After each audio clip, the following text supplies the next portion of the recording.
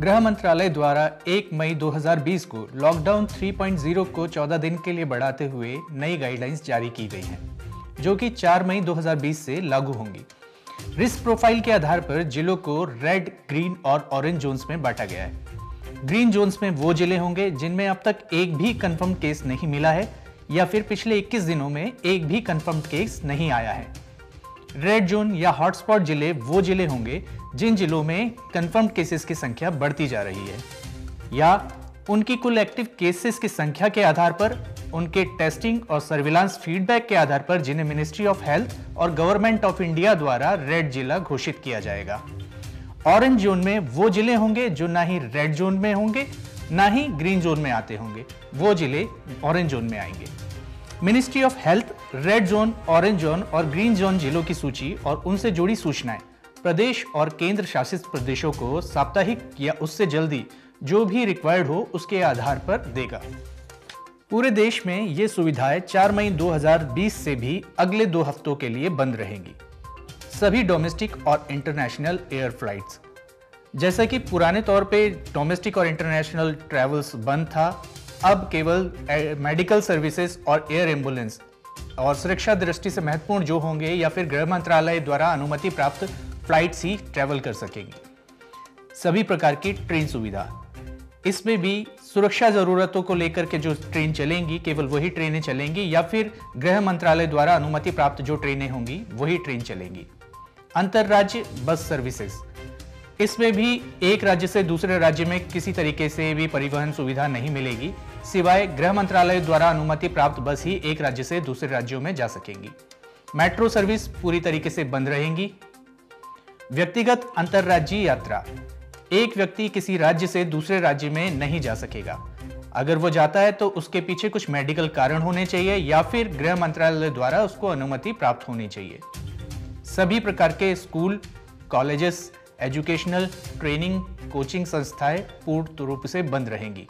केवल ऑनलाइन और distance learning चालू रहेंगी। हॉस्पिटलिटी सर्विस पूरी तरीके से बंद रहेंगे। केवल जो फंसे हुए लोग हैं और टूरिस्ट लोग हैं, उन लोगों के लिए ही लॉज की सुविधा उपलब्ध रहेगी। Cinema halls, shopping malls, gym sport complex, swimming pools entertainment park, theatres, bar और ऑडिटोरियम आदि पूरी तरीके से बंद रहेंगे। सभी सामाजिक, राजनीतिक, सांस्कृतिक एवं धार्मिक कार्य पूरी तरीके से बंद रहेंगे। सभी धार्मिक जगह, पूजा, इबादत की जगह जनता के लिए पूरी तरीके से बंद रहेंगी।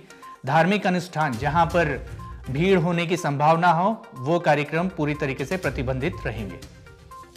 गृह मंत्रालय द्वारा सुरक्षा के लिए कुछ मानक तय किए गए हैं।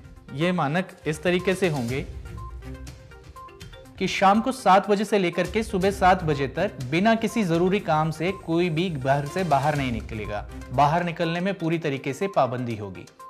इसके अलावा पैंसठ साल के बुज़ुर्ग 10 साल से कम उम्र के बच्चे, गर्भवती महिलाओं को सलाह दी जा रही है कि वो घर पे ही रहे। यदि कोई मेडिकल इमरजेंसी हो, तभी घर से बाहर निकलें। इसके अलावा कंटेनमेंट जोन में ओपीडी या मेडिकल क्लिनिक नहीं खुलेंगे, जबकि रेड जोन, ऑरेंज जोन और ग्रीन जोन में। सोशल डिस्टेंसिंग को ध्यान में रखते हुए ओपीडी या मेडिकल क्लिनिक खुलेंगे। रेड जोन में यह एक्टिविटीज़ पूरी तरीके से प्रतिबंधित रहेगी। साइकिल रिक्शा, ऑटो रिक्शा, इनको चलने की इजाज़त नहीं होगी। टैक्सी और कैब, इनको भी चलने की इजाज़त नहीं होगी। ज़िले में बस सेवा को भी चलने की इजाज़त नहीं होगी। रेड जोन में बार्बर शॉप, स्पा और सलून ये भी पूरी तरीके से बंद रहेंगे। जिनको सशर्त अनुमति प्राप्त होगी अनुमति प्राप्त वाहनों को आवागमन की अनुमति होगी। फोर व्हीलर्स में ड्राइवर के पीछे दो यात्रियों को अनुमति प्राप्त होगी। टू व्हीलर्स में पीछे सवारी अलाउड नहीं होगी। शहरी क्षेत्रों में औद्योगिक संस्थानों को अनुमति दी गई है, जिसमें ज़रूरी सामान की मैन्युफैक्चरिंग यूनिट जैसे दवाइयाँ फार्मास्यूटिकल और मेडिकल यंत्रों को अनुमति दी गई है। साथ ही इन्हें कच्चा माल उपलब्ध कराने वालों को भी अनुमति दी गई है। ग्रामीण इलाकों में सभी औद्योगिक इकाइयों को काम करने की अनुमति है। शहरी क्षेत्रों में कंस्ट्रक्शन की अनुमति दी जाएगी, लेकिन वह केवल वो कंस्ट्रक्शन साइट पर अनुमति प्राप्त होगी जहाँ पर वर्कर्स मौजूद हों। बाहर से किसी भी वर्कर को नहीं लाया जाएगा। ग्रामीण क्षेत्रों में सभी प्रकार के कंस्ट्रक्शन को पूरी तरीके से अनुमति दी जाएगी। एकांत और कम भीड़ भाड़ वाले स्थान पर दुकान खुल सकती हैं। इसके अलावा मोहल्ले की दुकानें रेजिडेंशियल कॉम्प्लेक्स की दुकानें भी खुलेंगी। ग्रामीण क्षेत्रों में सभी प्रकार की दुकानें खुलेंगी। ई कॉमर्स में केवल ज़रूरी सामान के लिए ही ऑर्डर किए जा सकते हैं। प्राइवेट ऑफ़िस भी 33 परसेंट स्ट्रेंथ के साथ खुले रहेंगे। बाकी लोग वर्क फ्रॉम होम बेसिस पर काम करेंगे। ऑरेंज जोन में निजी कार में केवल तीन लोगों को ही अनुमति प्राप्त होगी, जिसमें एक ड्राइवर और पीछे दो सवारियाँ बैठ सकती हैं। टैक्सी और कैब में भी ड्राइवर और दो ही यात्री चल सकेंगे। जिलों के भीतर और बाहर बसें नहीं चलेंगी। अनुमति प्राप्त कामकाज के लिए आवाजाही को ही अनुमति प्राप्त होगी। ज़िले के अंदर आने जाने के लिए अगर आपके पास अनुमति है, तभी आप आवाजाही कर सकते हैं। ग्रीन जोन में बसों में 50 फ़ीसदी यात्री ही सफ़र कर सकेंगे।